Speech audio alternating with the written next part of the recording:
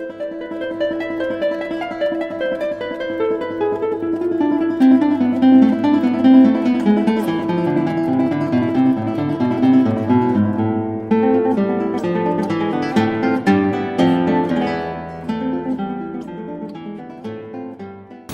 dia. Bom dia. Ai, é tão bom estarmos aqui, sentindo aqui nessa família. Como é bom vermos esta alegria desta manhã de domingo. A manhã fica até mais, mais bonita, né? Quando a gente já envolve a conversação saudável e nessa preparação para a nossa atividade, né? nossas atividades na nossa casa espírita.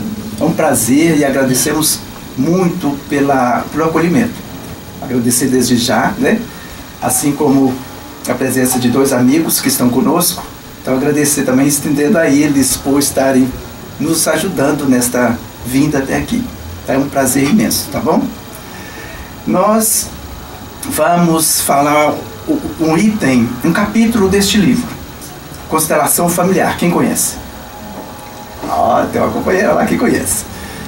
É, então, já antecipando que não são palavras, são palavras do Amaury, são palavras de Joana de Ângeles, através de Divaldo Pereira Franco. Então, nós escolhemos este, este tópico, o item 2, falando do educandário familiar. São tantos tópicos maravilhosos. É, aqui eu, eu gosto de comentar um pouco antes, né? Porque nós vamos trazer a nossa maneira de falar, nosso tom de voz, a nosso sentimento, o nosso respeito com cada um de vocês. Mas o trabalho é todo dela, então a gente vai fazer poucos comentários acerca assim, da nossa maneira de argumentar o tópico, tá? Os slides. Então, outra coisa que nesse livro vou encontrar é a importância de Joana de Ângeles quanto um espírito já de grandeza moral, espiritual, para falar de para argumentar, para mostrar para nós como devemos nos entender da questão de uma constelação familiar. Desde desde o plano espiritual que já acontecem e quando vem para o plano carnal, esse plano físico onde nossas reencarnações se fazem acontecer, ela vem falando assim da, do, da importância da questão espiritual, da importância da observação, da importância de cada um membro, direta ou indiretamente, fazendo parte desta família. E é muito curioso que quando a gente faz o estudo em grupo, e a gente dá liberdade para todos argumentarem, né? Quando é em grupo todo mundo participa. E aí vamos ouvir falar do óbvio, né? Do, do casal, dos filhos, dos pais, dos avós. Quem é avô aí? Avô avó? É, quando foi falar dos avós, eu fiquei assim meio apertado, fazer porque minhas filhas, eu tenho duas filhas e um filho, cinco netos. E aí eles ficam assim, pai, você está estragando meus filhos, pai. então quando vê a Joana de Anjos falando sim, chamando atenção para algo que de repente a gente mima, né, para que a gente tenha esse cuidado. Vai falar de vizinhos. Mas vizinho? Eu nem converso com meus vizinhos. Ela vai falar da importância dos vizinhos. Ela vai falar de algo que de repente passa despercebido de nós nesta vida, às vezes corrida, às vezes né, dando importância para outros focos que nos interessam, mas mostrando que tudo que está ali ao nosso redor, o motivo de estarmos reunidos, seja no trabalho, seja na vida social, na vida de um todo, é importante. Tá? E este capítulo 2, é o 2 que nós escolhemos, tá? ele começa falando nos. Vejam bem. Se eu conseguir mudar aqui, peraí. Ah, eu vou colocar meu companheiro aqui.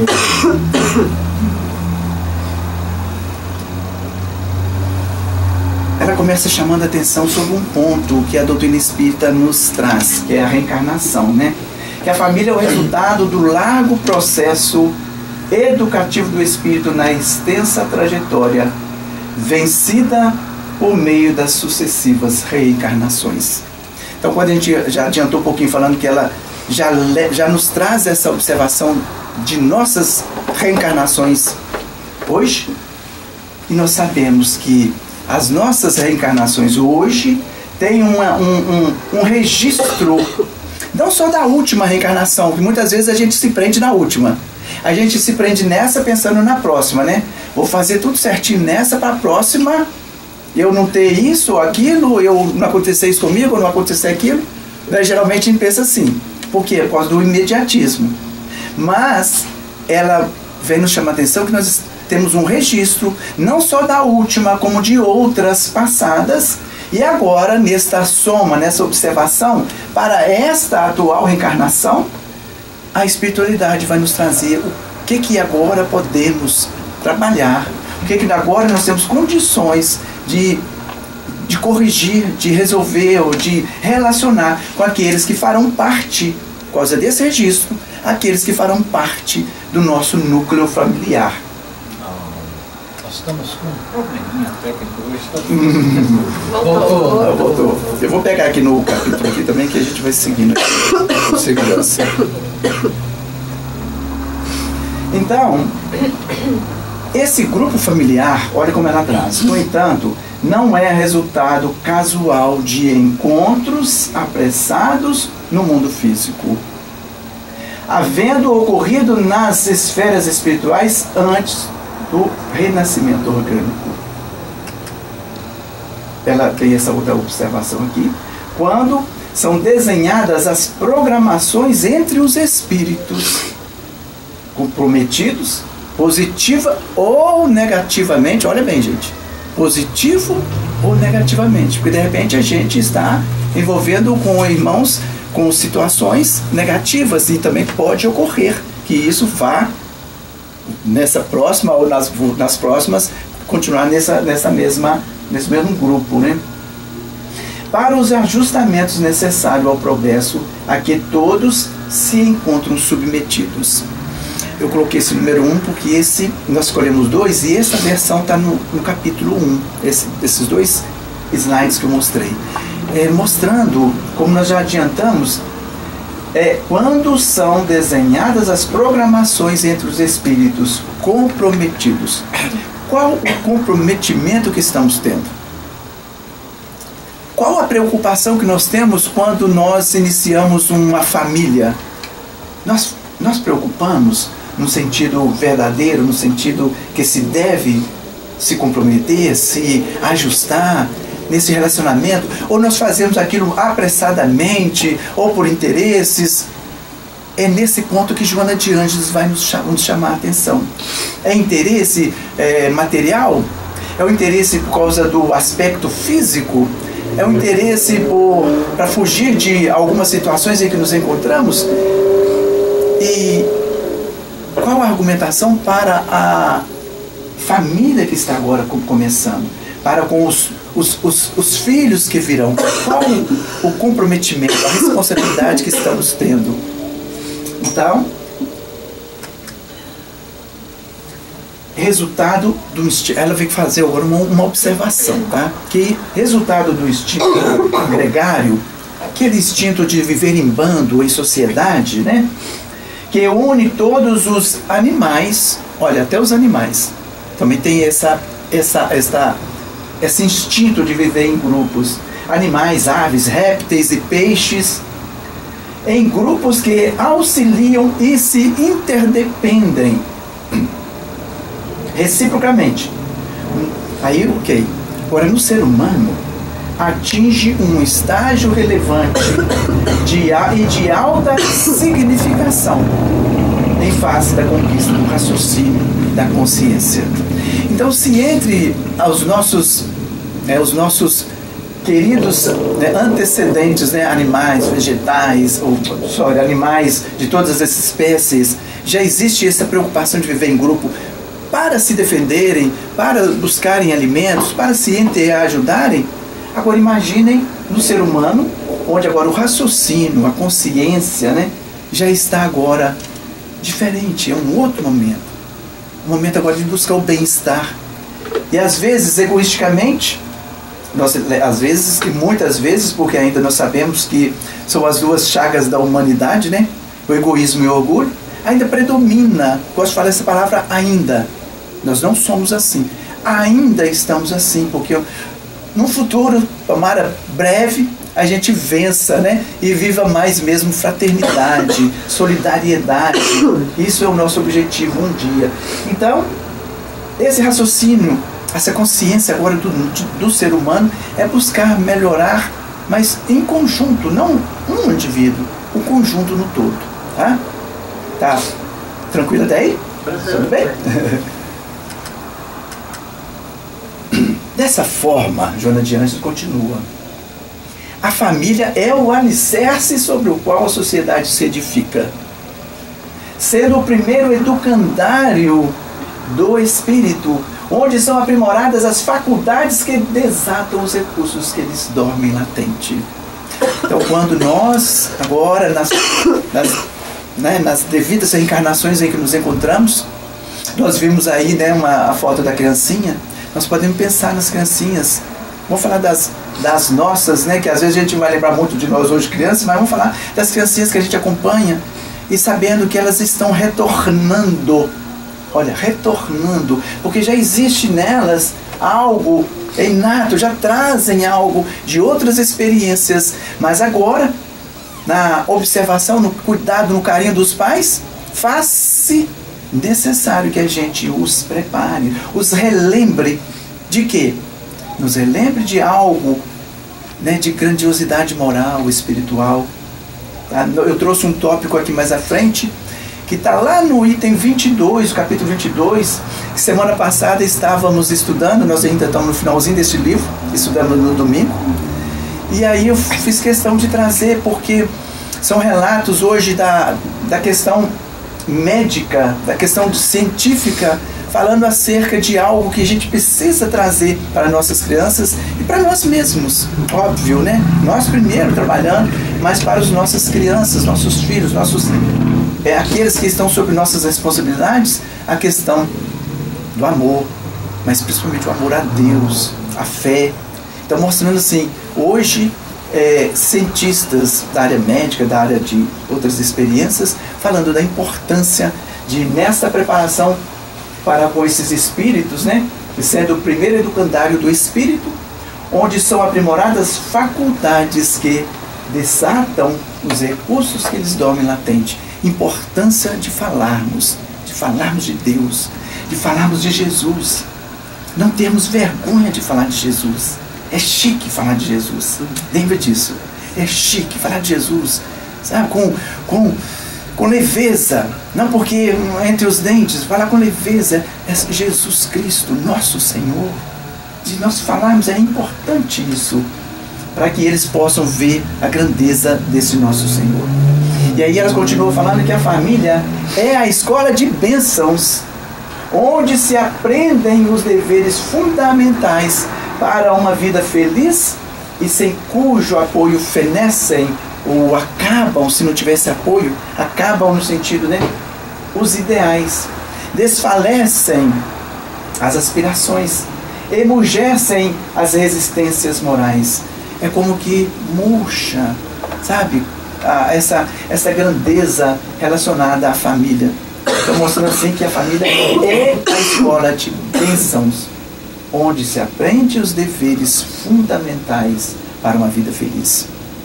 Então, mesmo que hoje, de repente, nós nos encontramos um pouco equivocados a respeito de como estamos construindo nossa vida até agora, né? De repente, o que significa que aqui tem, todo mundo aqui é feliz, né?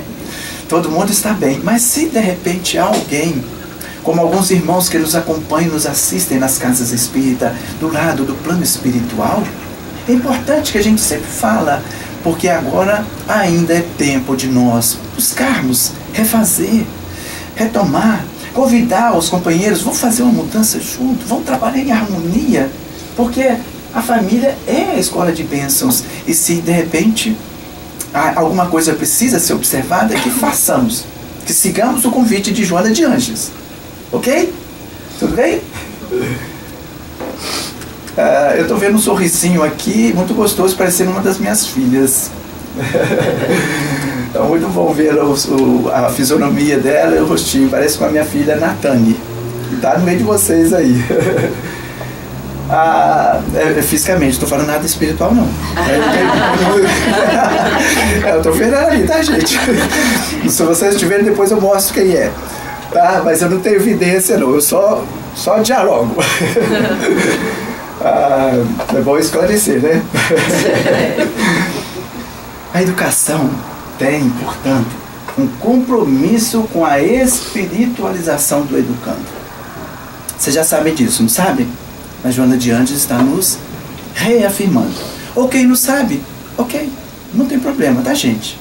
É, Joana de Andes está nos mostrando, é, orientando-o em torno da realidade de Deus, da criação e da finalidade espiritual da existência humana.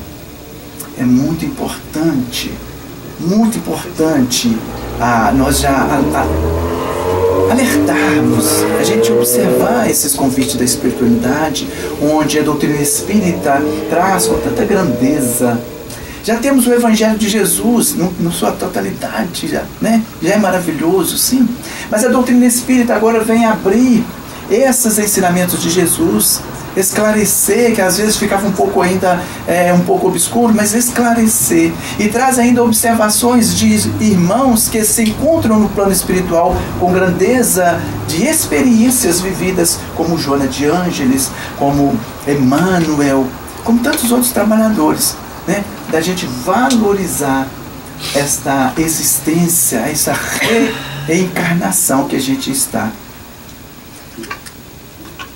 E ela continua dizendo que, nesse sentido, o amor desempenha um papel fundamental por oferecer valores de equilíbrio nas emoções e compreensão em torno de todas e quaisquer dificuldades detectadas no educando.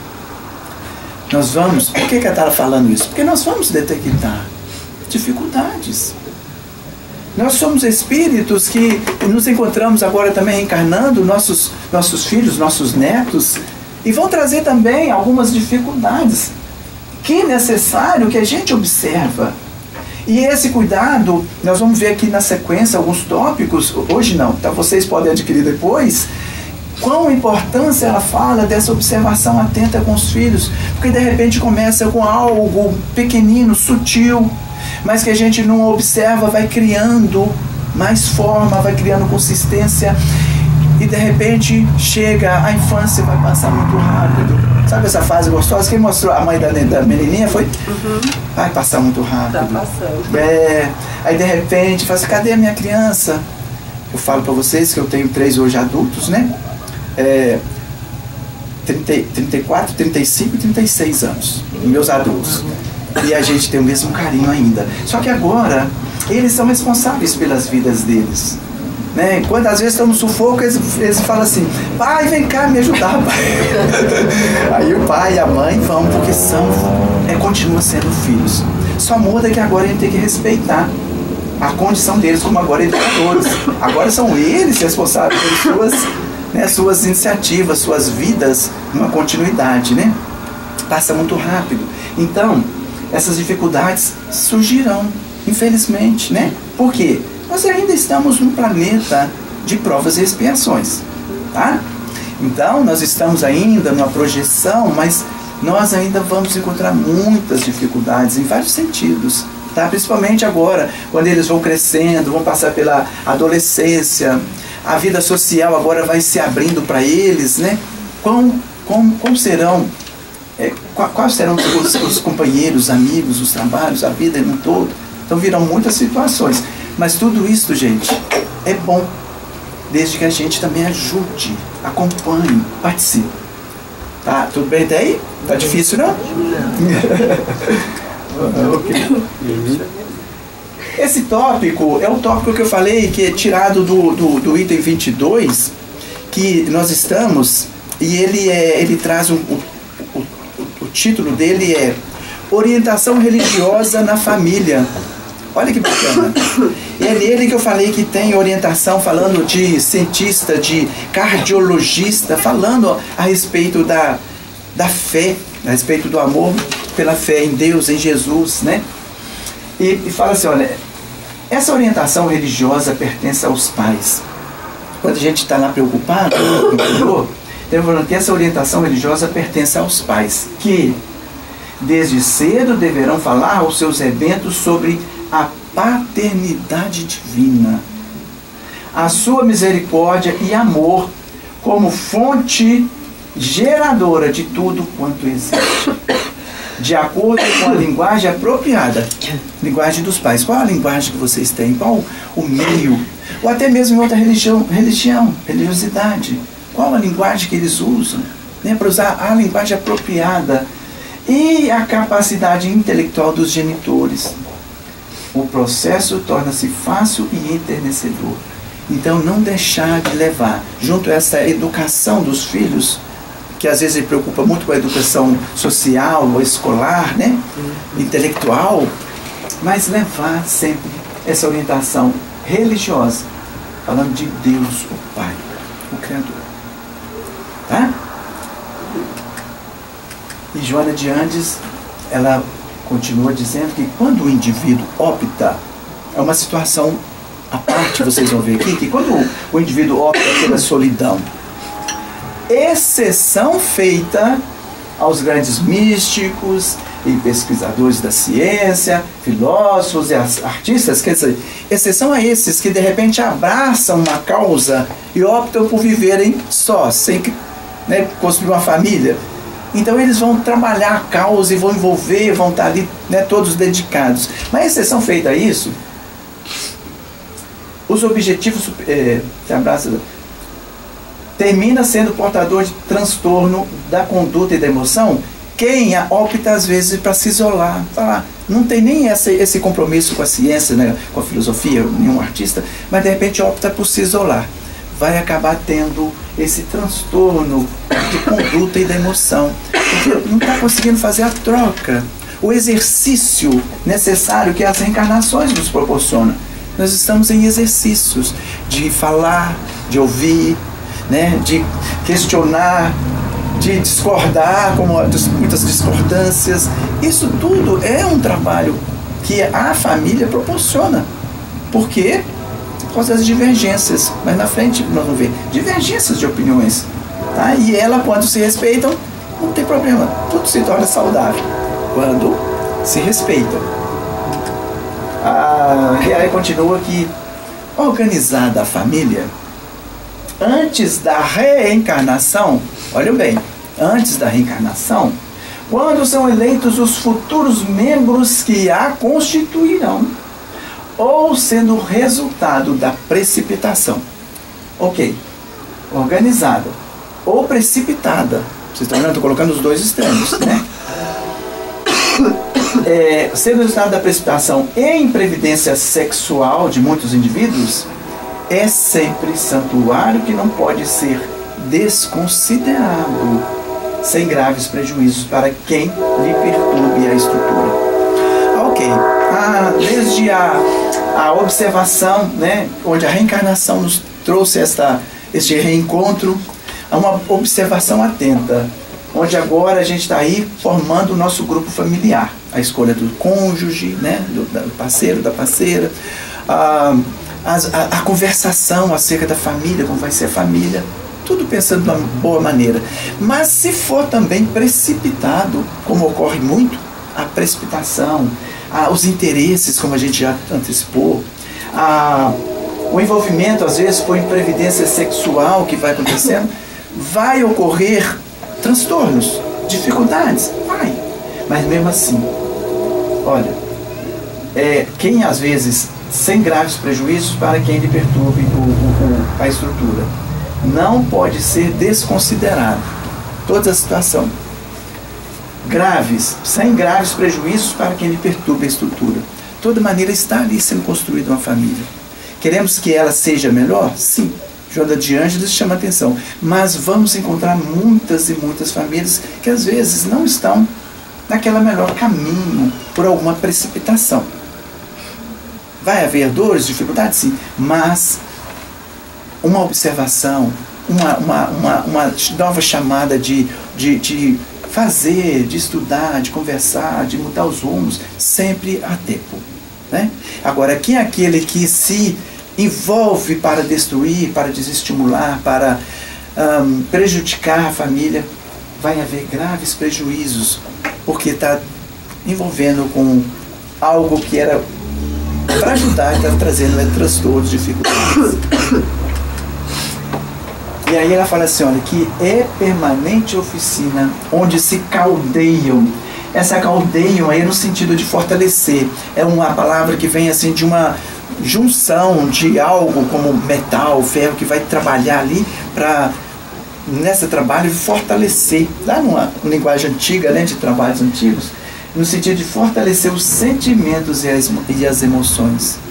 Então, é permanente oficina, a família, para trabalhar esses sentimentos e as emoções, dando-lhes a direção correta e a orientação segura para os empreendimentos do futuro.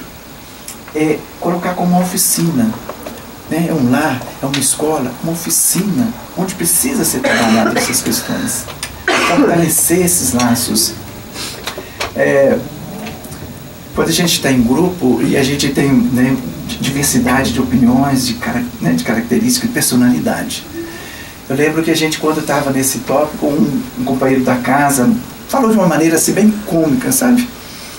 Falei assim, ó oh, Mauri, é ok, mas eu lembro dos meus pais falando dessa dificuldade, quando a gente fala de espíritos afins, né? Você vai me desculpar, mas eu lembro da minha mãe. Eu lembro da minha mãe me dar oito, oito couro, oito costas. Oito. Sabe por que oito? Porque as outras, ela não queria me bater, ela queria me desencarnar. Aí eu assim, muito porque dizer que ela pegava era para matar. Eu falei, pelo amor de Deus, a minha mãe quase matava, quase desencarnava a gente ali, batendo. Então ele falou assim, como é que a gente vai conseguir amar? Que eu lembro disso até hoje. Então é verdade, acontece. Eu mesmo, por mais que eu pensava que estava educando direitinho, sim, teve muitos acertos, mas quantos erros tiveram? É, que eu também eu achava que eu tinha que ser como pai, que é firme, ok. Mas nessa firmeza às vezes a gente exagerava, sabe? Ao mesmo tempo eu era um irmão, né? Outra hora amigo. Então conseguimos passar. Mas na realidade muitas coisas hoje a gente observa que não precisaria, porque a gente precipitou. Mas não chegava a desencarnar meus filhos, não, tá, gente? Mas eu tenho uma filha que fala até hoje, pai, você batia na gente, pai. E hoje ela vê com os filhos deles, assim, com os filhos, às vezes, é, resistente a algo que ela está aconselhando, eles não conseguem fazer. O Ryan é o mais velho, está com 9 anos, e o Ethan, dessa mesma filha, o Ethan tem 4. Fala assim, pai, agora eu te dou razão. Meu Deus do céu. Mas não, não bate igual o pai também batia. Mas ao mesmo tempo criaram, foram criados com uma, uma amizade que perdura hoje entre eles. É um, eu e eles há uma, uma, um carinho muito grande. Mas a gente vê que há muitas falhas. Então esse amigo, quando ele falava desta oficina, ele achava assim, meu Deus, eu acho que ele está querendo, não é, não é fortalecer, está querendo me desencarnar. Então a gente tem que ter esse cuidado, que principalmente hoje, como mudou a visão hoje é outra, né? A gente vê que a gente, a, a própria sociedade, os meios, inibe, olha, você tem que ter cuidados. Isso é bom que a gente reflita, né? A maneira melhor de educar. Por essa razão, falando ainda desta oficina, né? Ah, é que não se vive na família ideal, aquela na qual gostaria de conviver. Olha só, gente com espíritos nobres e ricos de sabedoria, mas no grupo onde, onde melhormente são atendidas as necessidades da evolução. Se eu, se a minha esposa, se os filhos que vão, estão vindo são individualidades e cada um na sua maneira, na sua, na sua condição é, intelectual e moral vão são diferentes, é óbvio que vai haver divergência, né? Mas, está falando assim, olha, que não, a gente não está naquela ideal, não é? Meu Deus, que filho rebelde é esse? Às vezes ele fala assim, meu Deus, de onde é, de onde está vindo esse, essa criança? Então, a gente entender que são espíritos que num outro momento, na outra observa, num outro relacionamento, há uma influência onde a, a espiritualidade agora, sabe, é o momento de vocês reencontrarem. Então não vão ter só os afins no sentido positivo, de todos serem é, espíritos é, ricos de sabedoria. Não. São afins também na, nos aspectos negativos, aflitivos, é, é, até viciosos. Vão trazer isso também. Mas tudo tem uma razão. Tá? É uma razão de ser. Tudo bem até aí? Tá bom? ah, vejam bem, não poucas vezes no grupo doméstico resumam as reminiscências perturbadoras do além ou de outras existências. Até antecipei já uma fala, tá vendo? Que devem ser trabalhadas pelo cinzel da misericórdia, da tolerância e compaixão. Ah, Mauri, pelo amor de Deus, mas e aquele filho? É, vocês é, já ouviram falar do Jorge Elahá? Uhum. Acompanha algum de vocês? Uhum. É quando no, no, na época da pandemia, ele fez vários, um pinga-fogo. Baseado naquele pinga-fogo antigo do Chico Xavier, da, lá do canal Tupi. Vocês já, já ouviram falar? Alguém? Uhum. Já? Então ele fez. E o Jorge Elahá, ele fala ele fala desse trabalho importante referente à, família. Ele fala com muita propriedade a respeito né, desses, desse trabalho que deve ser feito. E ele responde a muitas perguntas, né? E eu gosto muito que ele responde com carinho sobre cada um e respeita a, a pergunta, respeita a pessoa. Né? Então ele vem explicando em vários pontos é, esse trabalho que precisa ser considerado sobre cada um. O respeito, é, a, a dedicação, a energia quando for necessária. Então precisa ser trabalhado, né? Então eu gosto muito de ouvi-lo, que ele mostra em vários aspectos, até, até de outras religiões, ele tem um conhecimento bem amplo, tá? E, e aí essa, essa pergunta, olha, não poucas vezes no grupo domésticos resumam as reminiscências, reminiscências perturbadoras do além ou de outras existências. Sempre vamos encontrar, mas a gente não tem que tentar encontrar isso em toda situação. Ah, e, um, e às vezes colocar com um, um título diminutivo, sabe? Que é, até fica assim um pouco é, desrespeitoso. Às vezes fala assim, ah, deve ser algum espíritozinho que está atrapalhando esse, essa, essa, nosso, essa nossa relação. Um espíritozinho que está envolvendo, um irmãozinho. Isso é uma maneira até é, um pouco desrespeitosa, porque somos irmãos. Um espírito, um irmão. Mas que nós não devemos ficar a todo instante achando que são eles as causas desta situação que às vezes nos encontramos. Mas, em muitas, pode haver a influência, sim, desses irmãos que nos acompanham em nossas vidas na atual re reencarnação.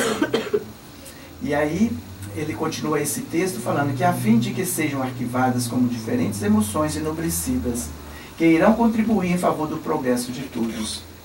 Então, que devem ser trabalhadas pelo cinzel da misericórdia, da tolerância e da compaixão. Entender.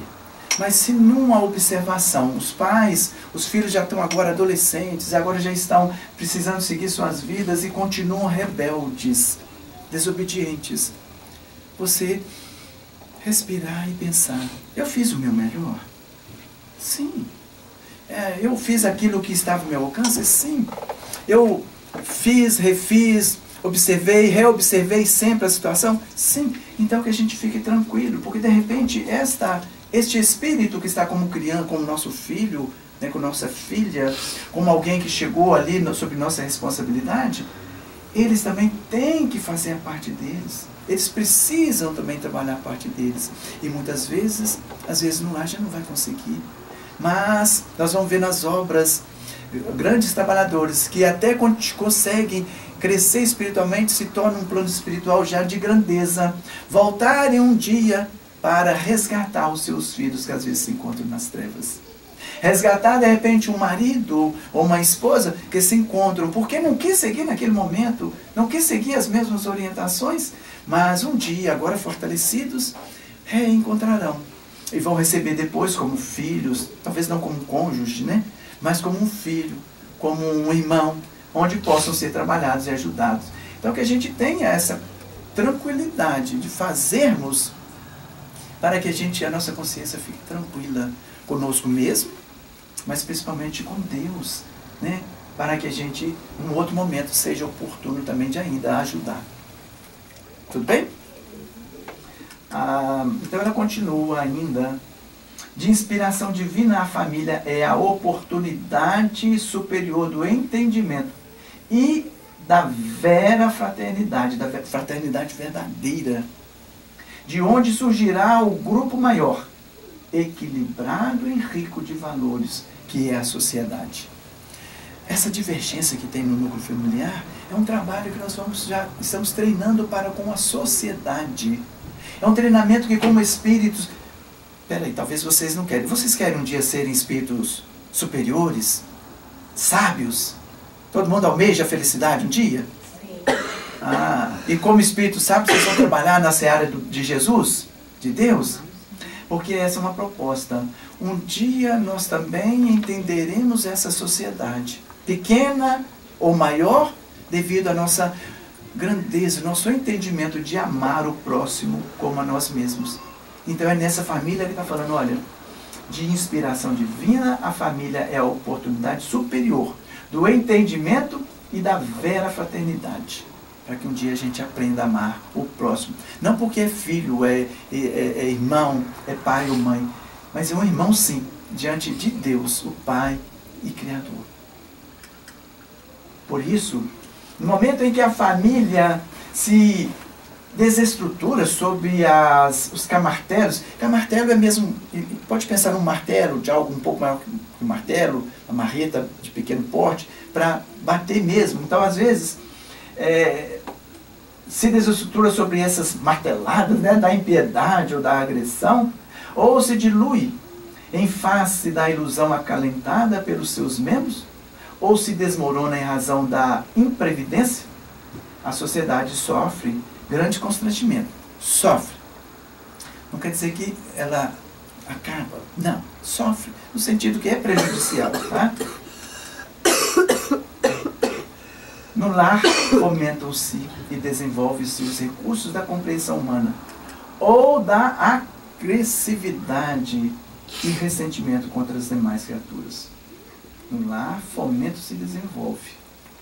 Compreensão ou desentendimento? Né? O que, que nós preferimos? É ali que também pode acontecer. É, o amor mas pode acontecer se a gente não cuidar, ou, ou a, a, a, o ressentimento, a agressividade. A constelação familiar não é uma aventura ao país enganoso do prazer e da fantasia mas uma experiência de profundidade que faculta a verdadeira compreensão da finalidade da existência terrena com os olhos postos no futuro da humanidade. Esse futuro, amanhã já é um futuro de hoje. Né? A próxima reencarnação já é um futuro em relação a essa. E um futuro melhor, onde nós almejamos a felicidade, é que a gente esteja nesta humanidade realmente entendendo como os, os espíritos né, de grandeza nos falam, né? entendendo a, o amor de Jesus para com toda a humanidade. Esse é o nosso objetivo, esse é o nosso ponto de onde a gente, nós nos encontraremos. Campo experimental de lutas íntimas e externas constitui oportunidade em comum para que o espírito se adestre, se melhore, né, se eduque nos empreendimentos pessoais sem perder o contato com a realidade externa com as demais pessoas. Entender ali no, no, no, no núcleo íntimo, mas também outros que se farão. Né? Nós falamos aqui de alguns familiares que estão um pouco mais né, distante, mas também a sociedade. Nós falamos até do vizinho, dos vizinhos. Isso tudo vai se tornar uma, uma família. Já ouviram a frase assim? Ah, eu tinha uma, um, um vizinho que era, nossa, é melhor que um parente. Sabe? Às vezes tem um vizinho e isso já tem algo que seria, já é, veio ajudar, vem contribuir para os nossos relacionamentos. O exercício da paciência. Quem tem paciência aí? Tem? No, e no clã familiar é valiosa contribuição para a experiência iluminativa, porquanto, se aqueles com os quais se convive tornam-se difíceis de ser amados, gerando impedimentos emocionais que se sucedem continuamente, como poder se vivenciar o amor em relação a pessoas com as quais não se tem relacionamento, senão por paixão ou sentimentos de interesse imediatista? Como que nós vamos amar o próximo que estão distante de nós? Não sabemos quais os, os hábitos, né? qual a maneira de se comportar. Não fica cheio de insegurança? Mas isso um dia vai se tornar mais natural. É, a vida de Chico Xavier. Tem alguém aí que, que não conhece? Um pouquinho? Já não é uma doação assim para com o próximo? A Irmã Dulce, já ouviram falar? Madre Teresa de Calcutá. Eu estou falando só de alguns anos, olha, tão recente ainda do nosso meio, né? Não estou falando da grandeza de Francisco de Assis e de tantos outros trabalhadores. Não é? Um dia nós também seremos. Vocês acreditam ou não? Sim? Sim? ah, ok. Então nós estaremos juntos, tá? Que eu quero. Aquele que hoje se apresenta agressivo e cínico. Olha, essa situação é muito comum, tá, gente? Por isso que Joana traz, olha. Aquele que se hoje, hoje se apresenta agressivo e cínico no grupo doméstico, dando lugar a guerrilhas perversas, encontra-se doente da alma, merecendo orientação e exigindo mais paciência. Ninguém se torna infeliz por mero prazer. Eu quero ser infeliz, né? Não. Mas em consequência de muitos fatores que eles são desconhecidos. De repente nós mesmos fomos, fomos algo que impulsionou, sabe? No, no, no passado. Por isso mesmo transforma-se em desafio familiar, conduzindo altas cargas tóxicas de antipatia, de agressividade e desequilíbrio. Para a gente ter muita paciência, de tentar buscar ajuda. Se está difícil no, no nosso convívio, de repente buscar ajuda. Preciso de ajuda exterior, né? Por mais combatida pelos novos padrões da loucura que graça, que alastra, né? Na Terra, a família não desaparecerá do contexto social na condução de instituição superada. Porque o amor que sempre existirá nos corações se expressará em maior uh, potencialidade no lar, núcleo de formação que é para expandir-se na a última palavra tá? na direção do colossal grupo humano, da grandeza que é o grupo humano. Então, a família não desaparecerá. Ah, mas eu vejo a família hoje é, se acabando, se, né, se perdendo devido às situações do atual. Não, desaparecerá. É uma afirmação de Joana de Ângeles. Tá? Então é importante a família em nossas, em nossas vidas. Quem não consegue a capacidade de amar aqueles com os quais convive, mais dificilmente poderá amar aqueles outros, né? aqueles outros que não conhece. É mais difícil. Mas quando se aprender a amar nesse núcleo familiar, a gente vai também aprender a amar lá fora. A gente começa com trabalhos de caridade que as casas espíritas oferecem, né? E aos encontros, e a uma caridade, e a uma instituição. A gente começa exerc exercitando este amor é, fora do âmbito do doméstico. Então é o combustível do amor, o combustível do amor se inflama com maior potencialidade quando oxigenado pela convivência emocional. Em outras condições, trata-se apenas de atração física passageira de libido exagerada que logo cede lugar ao desencanto, ao tédio, ao desinteresse. Então, pedindo que, que a gente trabalhe esse, essa questão emocional, esse sentimento, esse relacionamento, e não vá para esse outro lado da atração física, a gente comentou também lá no início, atração física, os interesses, que isso vai nos levar a, ao tédio, ao desinteresse, ao desencanto, né? A família, portanto, é um núcleo de aformoseamento, de forma, formosura espiritual, que enseja aprendizado de relacionamentos futuros, exitosos, futuros e felizes. Então, gente, é na família que ela está afirmando, é na família que a gente vai ver um futuro cheio de êxito, um futuro feliz. Ah, mas está tão difícil. Tá, às vezes está, gente. Ah, mas eu já tentei de tudo, ok. Tenta até aquilo onde for possível. É isso que eu estou falando, tenta. Tenta de novo. Ah, mas agora eu não aguentei mais. Nós vamos ver várias relações, relações que, relacionamentos que não dão para continuar, mas que possa ter o respeito. Porque é quando acaba o respeito um pelo outro, porque já não tem, né? Então aí a gente vai às vezes tomar decisões, mas antes de tudo, e acima de tudo, tentar. Eu lembro quando uma vez na cidade de Ipatinga, uma pessoa querendo fazer uma separar meu, o seu relacionamento. E ela vinha como que tentando, a gente era coordenador de, de, de, de grupos, né, de estudos, vindo de como que se afirmasse, como que concordasse com a separação do, do, dela com seu marido. É como que querendo um aval. Ah, eu acho, você acha que eu posso separar? Eu falei assim, não, isso é responsabilidade sua, sua e do seu marido. Então, se chegar um momento onde o, o respeito já não tem, os dois que vão resolver. Vão tentar buscar um apoio em alguém, né? Tentar fazer de tudo, mas e por si fazer as suas, as suas resoluções.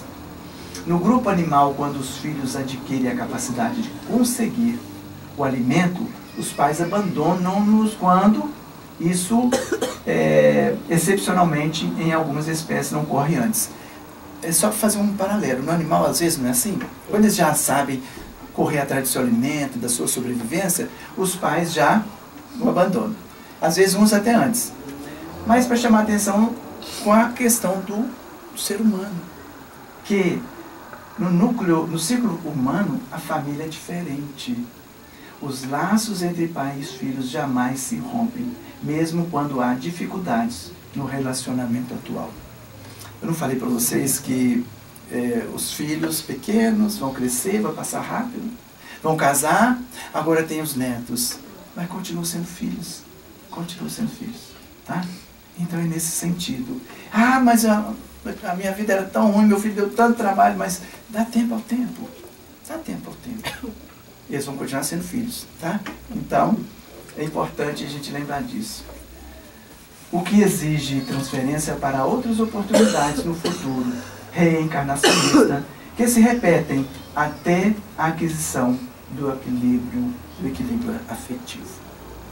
Então, por mais difíceis que estejam, Joana de Ângeles, você vê que foi um, um capítulo intenso chamando para a questão familiar, mostrando essa importância.